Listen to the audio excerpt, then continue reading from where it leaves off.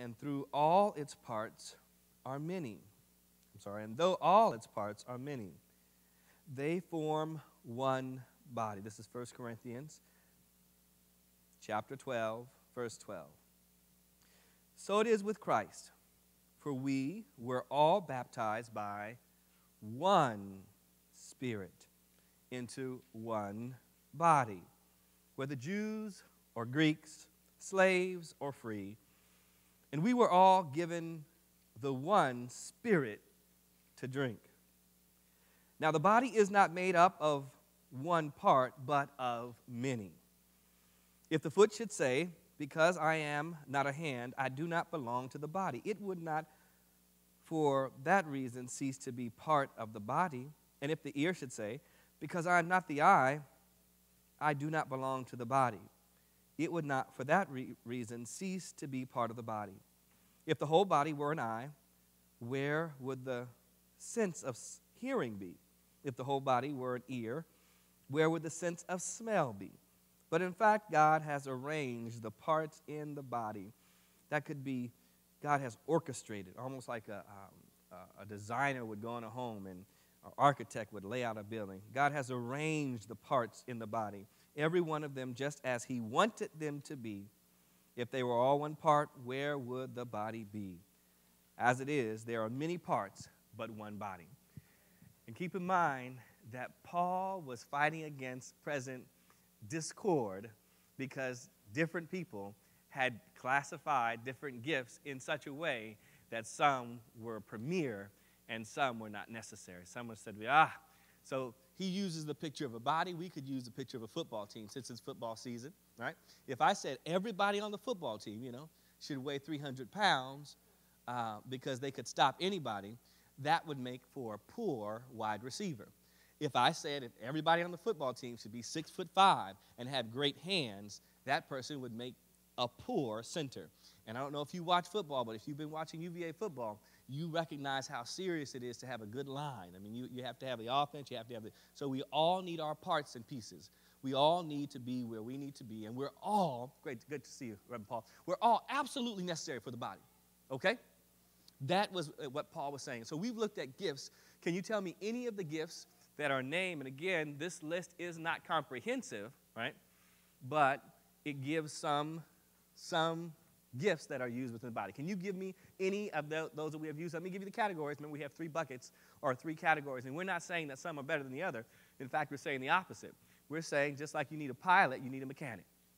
Remember that? Remember we had that argument, that conversation? And if you're getting on a plane, you don't decide whether you want a, a better pilot than you want a mechanic or an average pilot and a great mechanic. No, you want them both to be superb.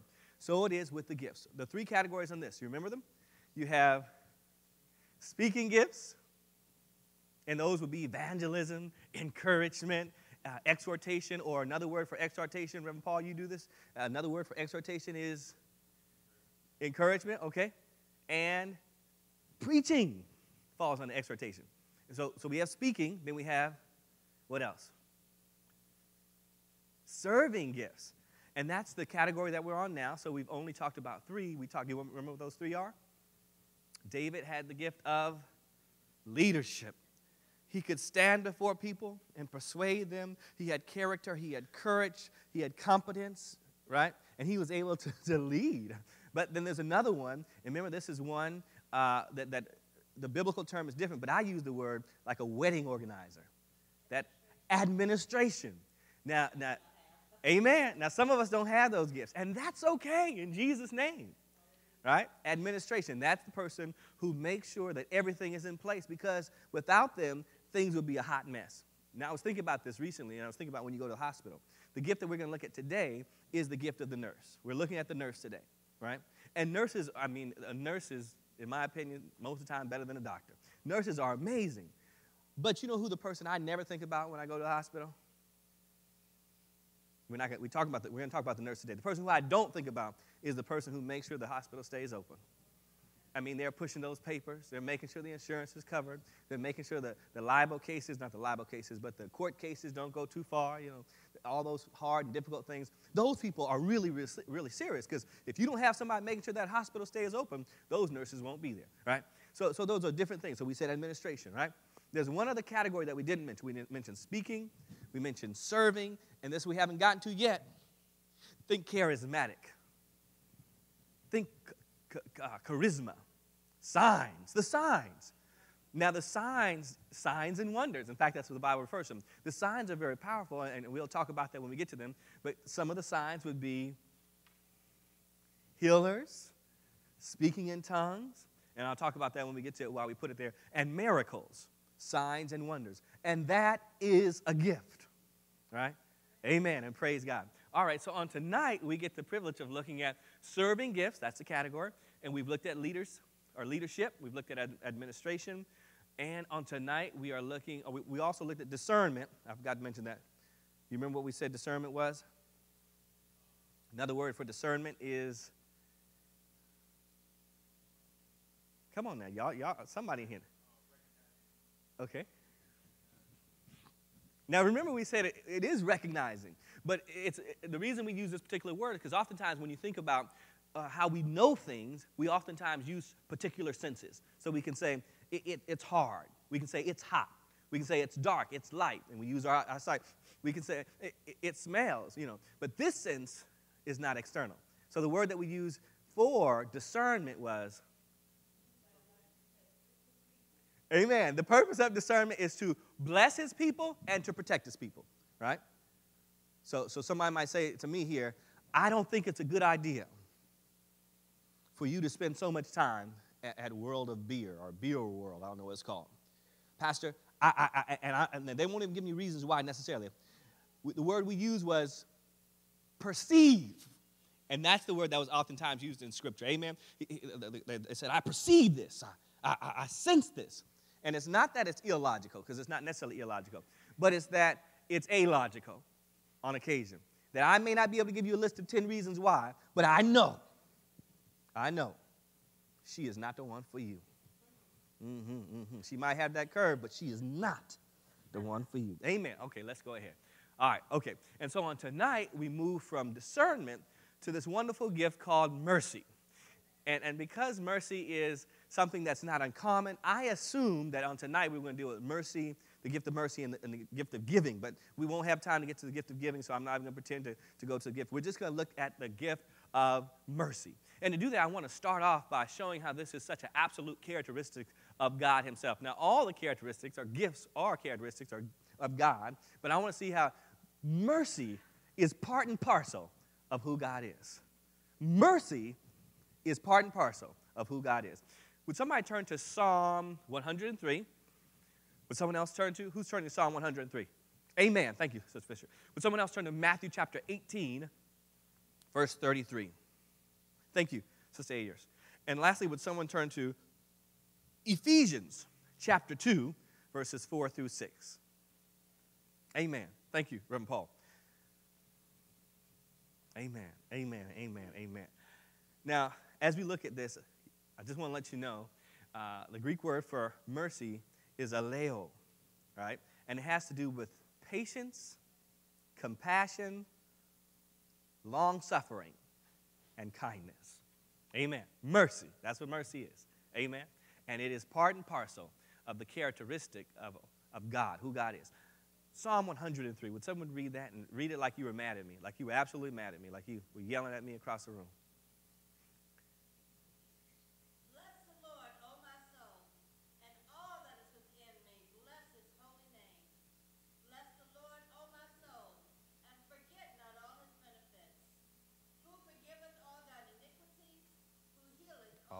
Diseases. Redeemed your life from destruction. Amen. Found you with tender kindness.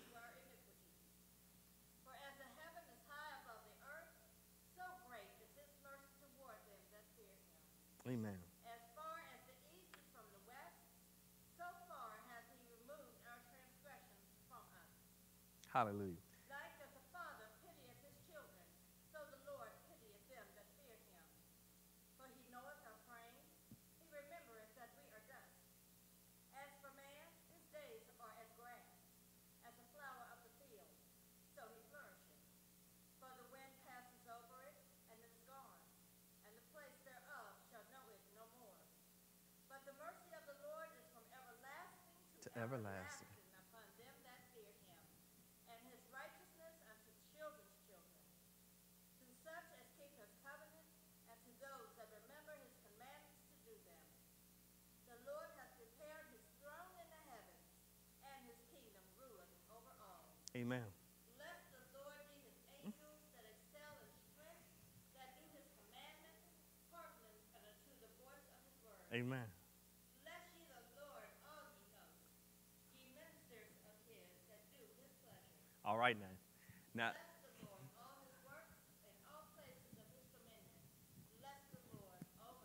come on. Hey, that's one of my favorite verses. And I want to let you know that in writing that verse, I was thinking of another verse. Yeah. That's a wonderful definition of God's mercy. And the one that I was actually thinking of, I love that definition because it walks through. Uh, I will tell you a joke, but it's probably not good to tell now. Uh, but it, it simply talks about, in the King James, it says that, that we are but dirt. Uh, uh, so we are, we are actually but dust, you know. Um, but check this out. This is not Psalm 103, but it's Psalm 136. Check this out. It says, Oh, give thanks unto the God of gods, for his mercy endureth forever. Oh, give thanks to the Lord of lords, for his mercy endureth forever. To him who alone doth great wonders, for his mercy endureth forever. To him that by wisdom made the heavens, for his mercy endureth forever.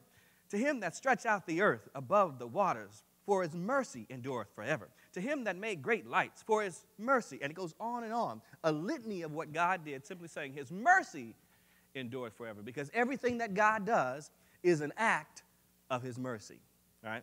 Because we've in no wise paid for it, right? Amen. So God's key characteristics could be summarized with the word mercy. The next verse, Matthew chapter 18, 33.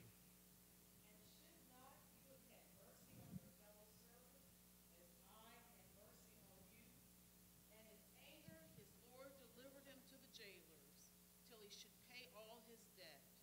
So also my heavenly Father will do to every one of you, if you do not forgive your brother from your heart. Amen. And we know the story there. We know the story there. Someone received great mercy. They received mercy that was so tremendous in comparison to what was due them, right? In comparison to what they should have sold someone else, that it's laughable. I mean, they got $5 million and somebody else owed them $5. And, and that's the, the, the message from God, from Christ, to, to show us how much mercy should be extended toward others, right? Because of the mercy that was extended toward us. Now, Ephesians, Reverend Paul, would you read Ephesians chapter 2, 4, and 6?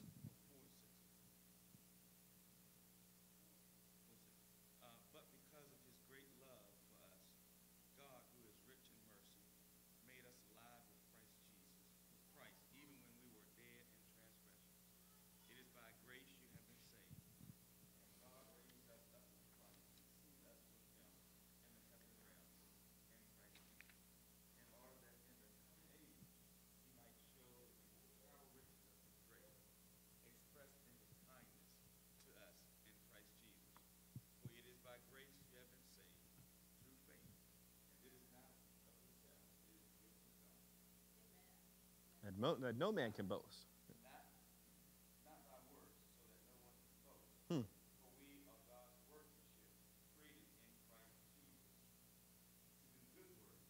prepared in advance Amen. So we've acknowledged the simple fact that God is absolutely full of mercy. And a key characteristic of God is his mercy. Now, here's the hard part that we have to accept that although we all as Christians should have a heart of mercy, we all should grow in mercy. We all should try to develop the, the, the gift of mercy. The reality is, just like administration, just like leadership, just like uh, teaching, just like encouragement, just like uh, exhortation or preaching, there are some who have a greater gift of mercy. And so, what we want to emphasize tonight is the particular gift, and we'll look at some examples of that, but we want to look at the particular gift. But here's the good news we all want to develop that strength, we all want to develop that mentality, we all want to develop that spirit, that anointing of mercy, right? And here's one of the reasons which I hadn't talked about before, but I want to uh, share just a little bit. One of the reasons we want to consider what the biblical gifts are and how they look is it will help us to understand other people. We will deal with other people when we understand. We will understand the reason they do what they do is because their gift is administration, right? And their gift is not encouragement, right? So you won't go to the person, you, you, you won't go to Paul to get encouragement because he's going to give you some correction, you know. You won't go to Barnabas to get correction. You're going to go to him to get encouragement, you know, because though we all are members, we all physicians in one sense, you go to your podiatrist when you have a foot problem, and you go to your optometrist when you have a when you have an eye problem. That's right. You know, and so it's important that we recognize and we'll relate better. We'll understand each other better. You'll love me more, I'll love you more because I'll, I'll know that's who you are. That's who God has made you, and we need each other. Amen. And it also lets us know that we can't make it on our own. Here's someone who had a gift of mercy. I don't know if you'll recognize this, this person, but I'm going to read a couple of their quotes, and hopefully uh, their name will come to your heart. She said this If we have no peace, it is because we have forgotten that we belong to each other. Next quote If you can't feed 100 people, then feed just one. Last quote. We think sometimes that poverty is the only that poverty is only being hungry naked, and homeless. The poverty of being unwanted, unloved, and uncared for is the greatest poverty. We must start in our own homes to remedy this kind of poverty. Now, who said that? Mother Teresa. Now, when we think of Mother Teresa, we don't think of her as a great speaker. No, I don't. No, we don't think of her as a, a healer. No, I, I don't. We, we don't think, we think of her what? Compassion. We, we think of a person who is full of compassion. And that is because one of her primary gifts, and not her only gifts, she also had the gift of administration. She built a wonderful team of nurses, or of nuns who did nursing. Oh, but her primary gift was compassion. And so it is with a lot of people that we're going, we are going to encounter. And we're going to look at some of their characteristics. In fact, let's dive right in. Now, one of the persons who is noted for having a gift of mercy or compassion, and another word for mercy would be compassion, would be the Apostle John. When most persons read his writings, they recognize that he tends to write with the lens not of liberation or not of uh, deep doctrine, although there's deep doctrine there, but it's primarily a book all about all about love. Let us love one another. and so, and so John uses the phrase one another all the time because he's always talking about how we deal with one another and love, and love, and love. Okay, let's check this out. The gift of mercy has a number of qualities. I want to look at four on tonight. Okay? The first one, you'll see number, number one on the near bottom of your page. But the first one, we're going to simply call. Oh, you didn't get a handout? There are some extra in the back. I'm sorry. My bad. Hey, check it out. So, under number one, and I won't go too fast, you just put this in, is empathy. Empathy. Amen. There's another handout that's needed. Thank you very much. Empathy, and we're all very familiar with empathy. You know, there are some people who naturally, who innately, when they see other people crying, they start crying. Is anybody here who cry at somebody's funeral who they don't know? That, that's probably because you have the gift, the gift of empathy. Now, just for the record, empathy uh, takes a lot of energy. People with energy, people with empathy, literally are going through the experience of somebody else. They empathize. You know, a good husband, when his wife is pregnant, is going to gain some weight. Really? and have some pains. Really? Because he has empathy. And he might get morning sickness too. They have to share that. Move over. empathy is the nature of joining in someone else's experience. When you have the gift of